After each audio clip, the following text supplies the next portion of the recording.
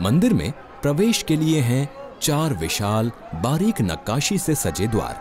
ये हैं सिंह द्वार, गज द्वार, अश्व द्वार और बाघ द्वार।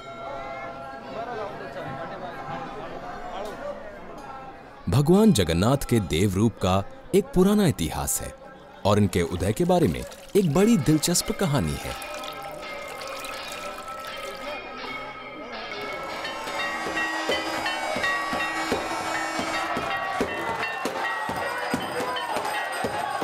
एक समय की बात है। मध्य भारत पर इंद्रद्युम्न नाम के राजा राज करते थे।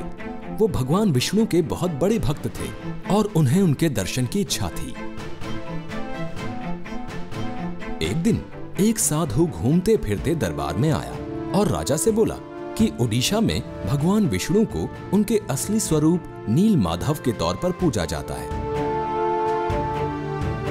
राजा ने फ़ौरन मुख्य पुजारी के भाई विद्यापति को हुक्म दिया कि वो ओडिशा जाकर नील माधव की खोज करें। एक लंबे थकान भरे सफ़र के बाद विद्यापति ओडिशा पहुँचे। वहाँ उन्होंने एक कबीले के सरदार विश्ववासु को गुपचुप नील माधव की पहरेदारी करते पाया। उन्होंने विश्ववासु से विनती की कि वो उन्हें देव पूजा की जगह दिखाएँ, मगर कबीले के सरदार ने इनकार कर दिया। तो विद्यापति गाँव में ही ठहर गए।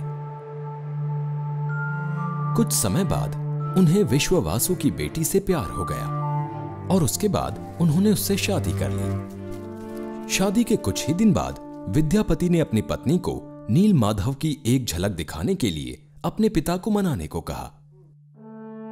अपनी बेटी की जिद देखकर आखिरकार विश्ववासु मान गए, मगर एक शर्त पर कि विद्यापति को आँखों पर पट्टी बांधकर ले जाया जाएगा।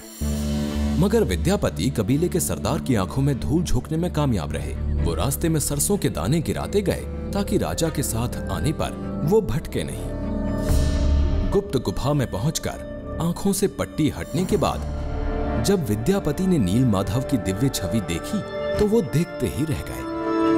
उन्होंने जल्दी से लौटकर राजा को सारी बात बताई। राजा फ़ौरन अपने प्यारे भगवान के दर्शन पाने के लिए निकल पड़े।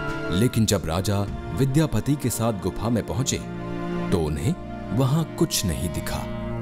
नील माधव अंतर ध्यान हो चुके थे। राजा का दिल टूट गया। अब राजा की किस्मत उन्हें कहाँ ले जाएगी? क्या भगवान विष्णु उन्हें दर्शन देंगे? ये तो वक्त ही बता सकता था।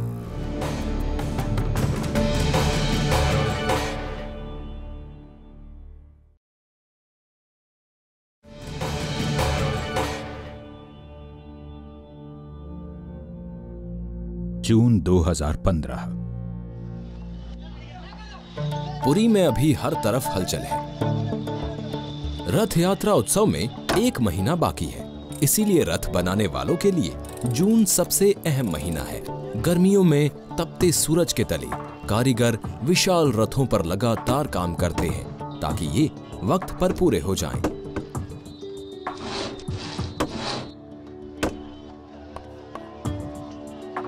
तैयार होने पर हर रथ 40 फीट से ज़्यादा यानी तकरीबन चार मंजिला इमारत जितना ऊँचा होगा।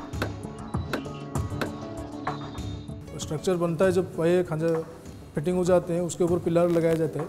तो पिलर का साइज़ का कितना भी माप है वो नीचे से तैयार होकर डायरेक्ट लगता है। वहाँ से यहाँ से डायरेक्ट तैयार होकर वहाँ फिटिंग किया जाता है। कारीगर शुरुआत करते हैं विशाल पहियों से। फिर बारी आती है एक्सल की। और उसके बाद बाकी की बॉडी बनाते हैं।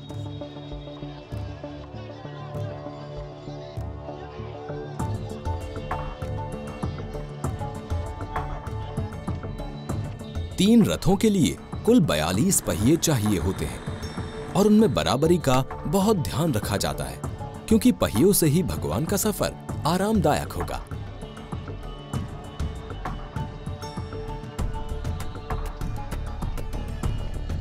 तीन रथों पर तीन अलग अलग टीम्स रात दिन काम करती हैं, ताकि ये विशाल रथ उस बड़े उत्सव के लिए समय पर तैयार हो जाएँ।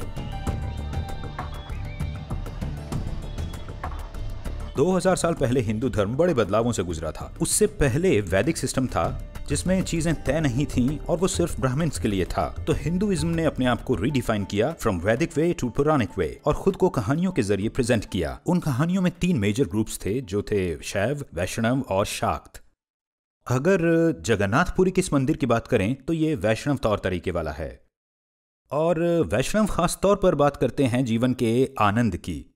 इसीलिए भगवान एक राजा की तरह रहते हैं। वो भरपूर जीवन जीते हैं। वो सुबह सुबह उठते हैं, स्नान करते हैं, शाही कपड़े पहनते हैं और हर दिन भगवान को छह बार भोग लगाया जाता है। हमारा एक मान्यता है हिंदू धर्म में, जो भगवान विष्णु हर रोज पृथ्वी पृष्ठ में आते हैं, रामेश्वरम में जाते हैं स्नान करने के लिए। उसके बाद द्वारिका जाते हैं, उधर ये श्रृंगार होके सारा देश का चलाते हैं, रोजा होके। मध्यान्ह में भगवान विष्णु पुरी में आते हैं यहाँ पे वो खाना खाने के लिए आते हैं। और जिस अन्न को ब्राह्मण लोग क्या, देवता लोग भी तरसते हैं पाने के लिए, ये इसी क्षेत्र का महत्व, ये खाने का पीठ है, क्षेत्र है।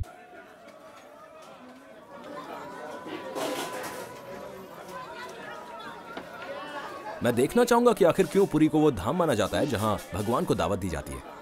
मैं उस रसोई का खाना खाने वाला हूँ, जिसे यहाँ हज़ारों की संख्या में आने वाले भक्त श्रद्धा से खाते हैं। यहाँ के मंदिर की रसोई भी बहुत विशाल है, जो करीब 100 फीट लंबी और 150 फीट चौड़ी है। बाहर से देखने पर यह किसी किले से कम नहीं लगती। मंदिर के मुख्य रसोइये मुझे पास का बाज़ार दिखाते हैं, जहाँ से हर रोज सब्ज़ियाँ वगैरह आती हैं। भगवान जगन्नाथ का भोजन बनाने के लिए इसी इलाके की सब्ज़ियाँ इस्तेमाल की जाती हैं। अच्छा ये बताइए मार्केट कितना पुराना ये हज़ार साल पुराना मार्केट है उसका नाम है लक्ष्मी बाज़ार। आसपास का जो जो खेत है वहीं से सब आता है। आलू बिलाती आलू टमाटर गोभी और भिंडी ये सब- ये सब यूज़ नहीं होता है। मिर्च ग्रीन चिली कद्दू यूज़ होता है कद्दू ट्रेडिशनल है। भगवान जगन्नाथ। जो एक बार यूज़ होता है उसके बाद उसको तोड़ा दिया जाता है। ये बात तो साफ़ है कि यही वो जगह है जहाँ भगवान की दावत होती है। दुनिया की सबसे बड़ी रसोइयों में से एक होने के नाते इस रसोई में 600 रसोइये वो बनाते हैं जिसे महाप्रसाद कहते हैं। पहले से भगवान जगन्नाथ को परोसा जाता है उनके बाद देवी विमला को और उसके बाद ही इसे महाप्रसाद माना जाता है। खैर ये महाप्रसाद मंदिर आने वाला हर भक्त बिना महाप्रसाद लिए नहीं जाता।